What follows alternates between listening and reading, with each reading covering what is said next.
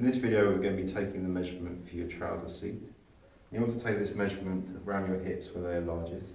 Take a tape measure around the buttocks to meet again at the front.